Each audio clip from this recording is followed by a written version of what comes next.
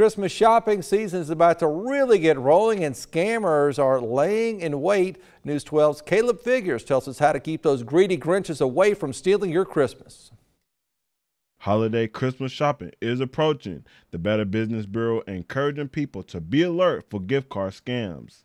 If you're out buying gift cards for family and friends, which is one of the key gifts, make sure you're checking that there's no signs that they've been tampered with. Unfortunately, we've seen scammers get information from a card and then wait until funds are loaded and then they will download those funds and steal them.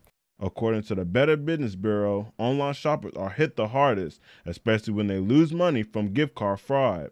Online retail scams has become our number one scam that's reported to BBB's scam tracker page, and it's been growing not only because of COVID, when many people turn to going more online, but especially at the holidays when more and more of us are shopping online.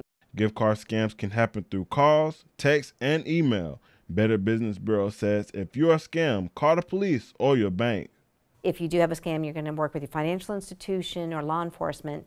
And we encourage you to visit BBB's page called Scam Tracker and report that too because it helps let others know in the community what's happened so they can be more aware of the scams that are happening out there.